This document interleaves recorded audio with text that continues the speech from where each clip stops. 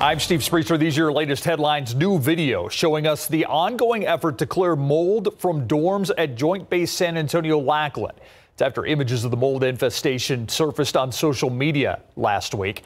Mold can be seen on pillows, ceilings, beds, even on a pair of shoes.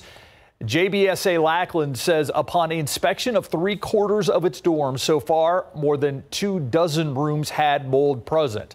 Remaining dorms are being inspected and the restoration is expected to be complete by August 8th. The 502nd Air Base Wing shared this video with us showing carpet being ripped out and furniture being replaced.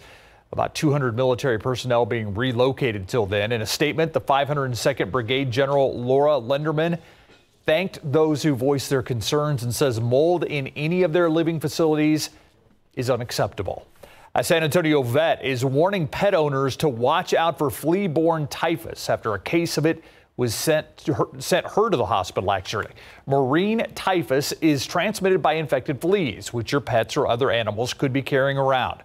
Dr. Olga Jaimes says she started feeling sick in June after she believes she and one of her vet techs contracted the disease at work. She was away from her clinic for weeks, even spent several days in the hospital. She's warning people, especially pet owners, to take precautions. I recommend that they do good flea control. Um, the baths, giving a bath is just not good enough. It doesn't give them any residual protection for the pet. So they need to use some veterinary approved product. Murine typhus has been on the rise in Bexar County the past few years. There were more than 100 cases last year, 56 so far in 2019. That's all our time for now. You can find the latest headlines on our website, ksat.com. Be sure to follow us on Twitter and like us on Facebook.